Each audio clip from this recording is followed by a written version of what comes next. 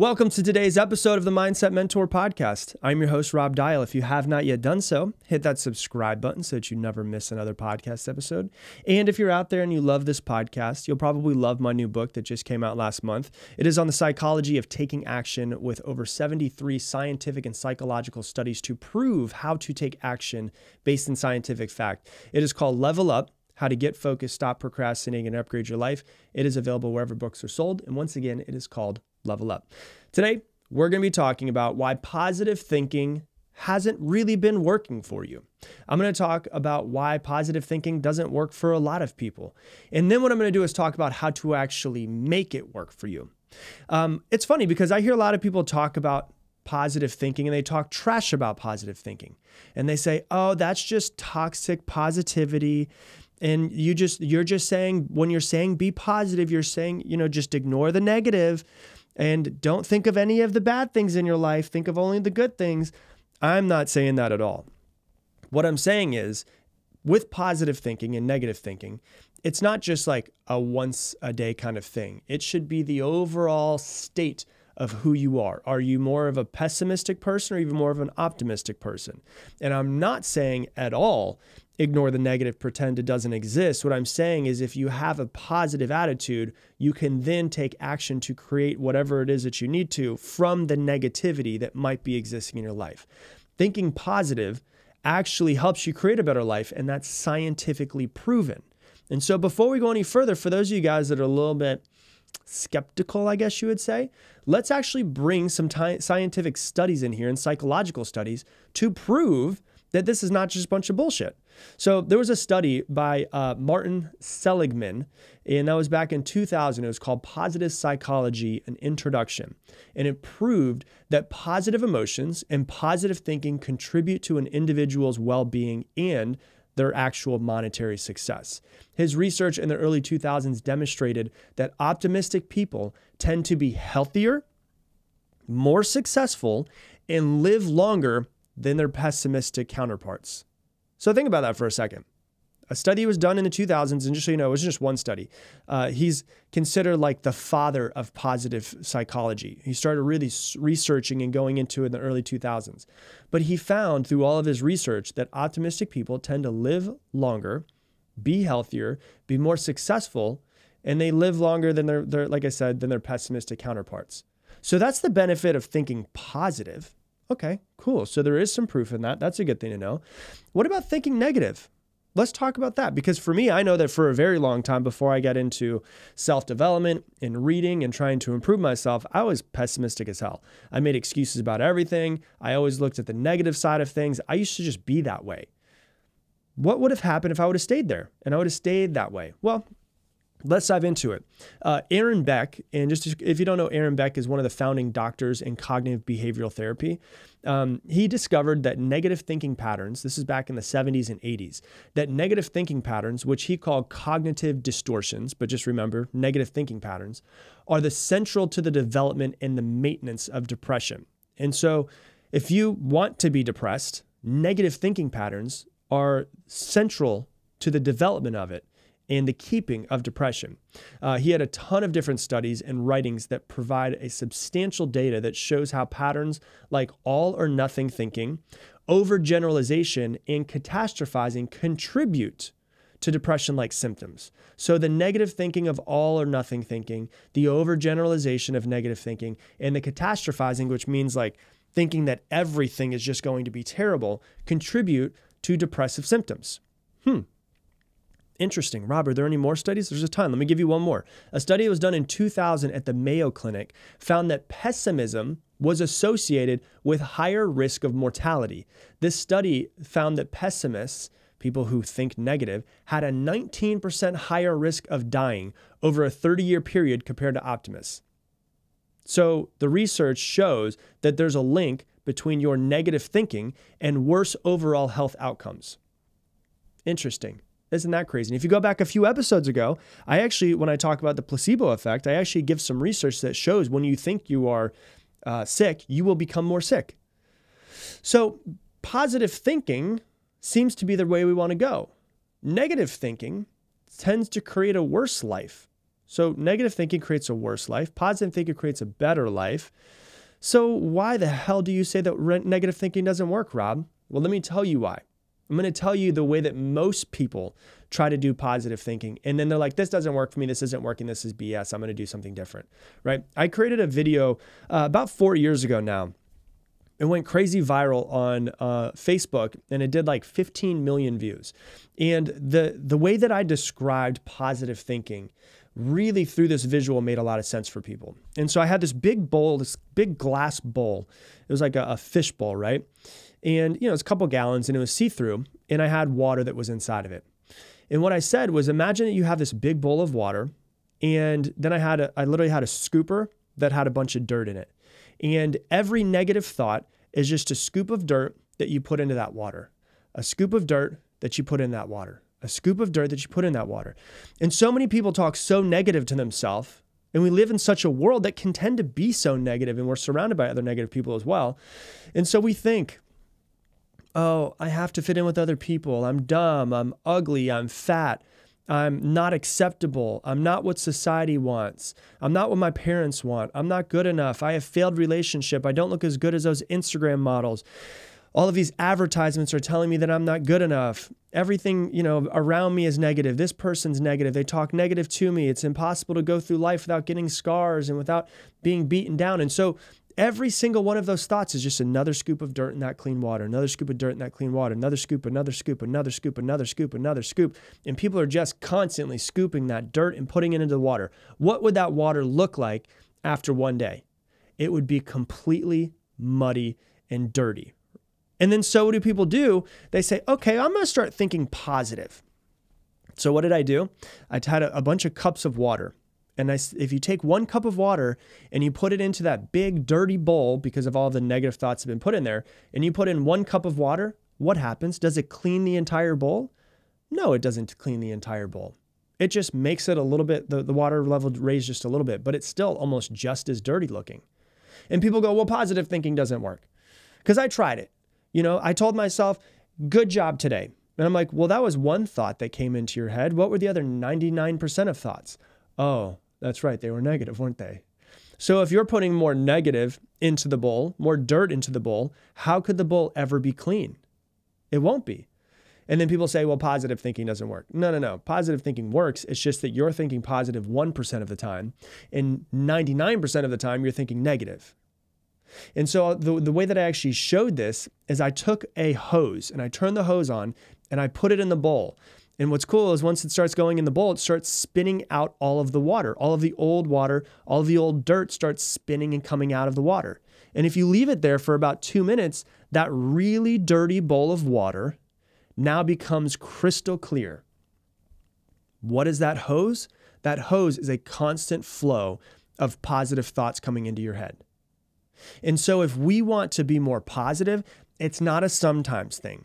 It's not a half the day kind of thing. It is a every fucking moment that we can kind of thing. Now, will we slip into some negative and accidentally throw some dirt in there? Yes. So, what do we need to do? We need to bring more positive in. And once again, this is not po- toxic positivity and saying, like, oh, everything's great when your life is crumbling, but it's saying, hey, no matter what happens, I'm going to find some good to come out of this. I'm going to figure out a way to make some positivity out of this thing that might be negative. You have to learn to be your biggest fan. You have to stop talking so much trash to yourself, so much trash around about the people that are around you. You can't think that you're just gonna. And I always use the example. I think it was uh, "As a Man Thinketh," the book, where he says you you imagine your mind being a garden, and you're the only one that can tend to this garden. You can't go and plant strawberry seeds into your garden and just expect that tomatoes are going to grow, right? Like, wouldn't that be crazy if I gave you strawberry seeds? I put them in the ground, or you put them in the ground and then you look at me and you're like, I'm so mad strawberries are growing. I thought tomatoes were going to grow. Wouldn't that be kind of crazy? It would. Well, it's kind of the same thing. You can't plant negative seeds in your mind all day long and look around and be like, well, I don't know why I'm not positive. I don't know why I don't have a positive life. Because you reap what you sow. Whatever you plant in the ground, you're going to get. Whatever you plant in your mind, you're going to get. So you can't be negative to yourself all the time and think, well, like, why does my life suck? You have to learn to be your biggest fan. You have to learn to be your biggest supporter. You have to learn to speak positively about yourself, about other people around you. Stop judging people. You have to demand happiness in your life. You have to demand greatness in everything that you do. So, when you first hear about positive thinking, you have to think like, well, yeah, maybe I am. I do have a bowl of really, really dirty water. And then you try positive thinking for a week or you try positive thinking for a couple days and you think, oh my God, it doesn't work. No, you have to take a step back and be like, oh my God, this water is so dirty. I need to flood this entire bowl with positive thinking and eventually get as much dirt out of it as I possibly can. If you're having more negative thoughts than positive thoughts on a daily basis, you're scooping more dirt into the water. Your water will always be dirty. Positive thinking can't be something that you just decide to try. It's not a try kind of thing. It's got to be a lifestyle. It's the same reason why diets don't tend to work because it's not a diet that you need, it's a lifestyle change that you need. So if you're trying to, to lose weight, you could lose 20 pounds and then go back to your old lifestyle. And then what happens? You gain it all back. Same thing's got to happen. If you want your body to be different, it's not a diet, it's not a 60 days kind of thing. It is a lifestyle change. It is a fundamental change in who you are and what you do. It is the exact same for the way that you think. It has to be a fundamental change in who you are and what you do. You have to turn the hose on and leave it on all day long, and eventually all the water turns into crystal clear and it gets that dirt out. But you have to be super intentional about it. You have to notice when a negative thought comes up. When you notice a negative thought come up, what do you do? You might say replace it with one positive thought. No, no, no, because we're trying to get the dirt out. We're not trying to go one for one. So when you notice a negative thought come up, you replace that negative thought with three positive thoughts. You have to beat the negativity out of your head. You have to beat the positivity into your head sometimes and start noticing your feelings shifting. So, a lot of times we don't always notice our thoughts. A lot of times, what we notice first is our feelings shift and they start to shift to a bad feeling where it's you know anxious or closed off or anger a feeling that we don't want to feel. You have to take a step back and you have to in cognitive behavioral therapy they ask you this question. When you notice your feeling shift ask yourself the question what was i just thinking? What was i just thinking?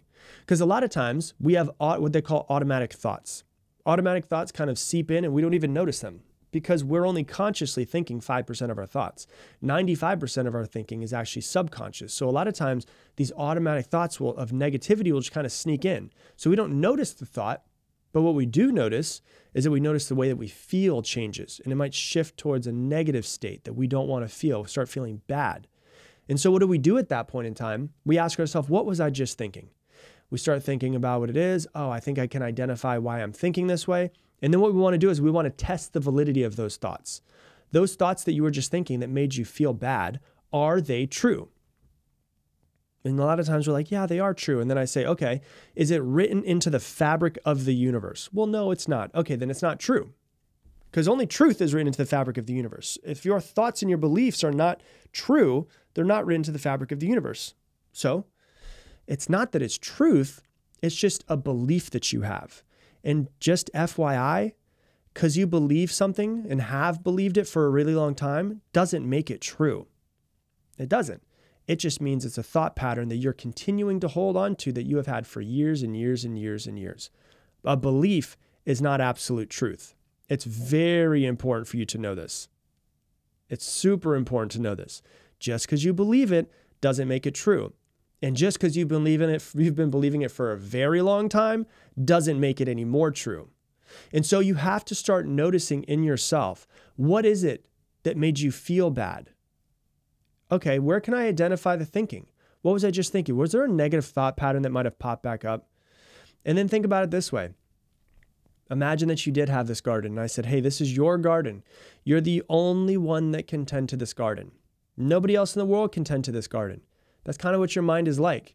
So if you walk up to that garden and you see that weeds are starting to grow in the garden, you can't expect someone to come and take those weeds out for you because you're the only one that can tend to this garden. You're the only one that knows about this garden.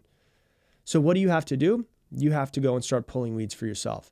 So when you notice the weeds, the negative thought patterns in your mind starting to pop up, what do you need to do? You need to figure out some sort of way to start pulling them. You need to pull them and you need to put in place of them three positive seeds. If you start talking trash about yourself and you notice yourself not feeling good, and you're like, what? Okay, I don't feel good. Why do I not feel good? Oh, I don't feel good because I'm noticing I was, you know, just looking at myself in the mirror and I must have just been judging myself and judging that I got a little, little bit of fat hanging over my, my belt buckle. Oh, okay. I was judging myself. I was talking shit to myself subconsciously. Okay, what do I need to do? I need to look myself in the mirror. I need to tell, I need to pull those weeds. And what I need to do is I need to plant three positive seeds. I need to look myself in the mirror and I need to tell myself three things that I love about myself. Okay, here's the three things I got to say. I love this, I love this, I love this. And start creating an environment where you actually tend to think positive more than you think negative. And as you start to do this, become better at it. You might not be really good at it right now. That's okay. But you start becoming a little bit better and a little bit better and a little bit better. Like I said, when I first started trying to get positive thinking, I was so damn pessimistic. I could make excuses for everything. I was always so negative. I was always doom and gloom.